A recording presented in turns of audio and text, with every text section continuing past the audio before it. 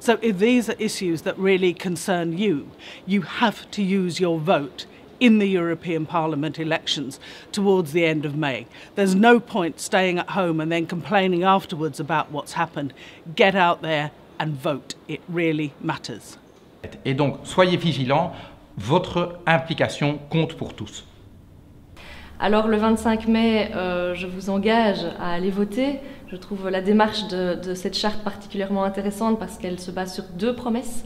Une promesse du politique, à soutenir ces dix engagements et à les porter au sein euh, des instances européennes, et une promesse des électeurs à aller voter, parce que c'est essentiel d'aller voter, à la fois pour assurer nos droits, mais aussi pour euh, faire compter votre voix.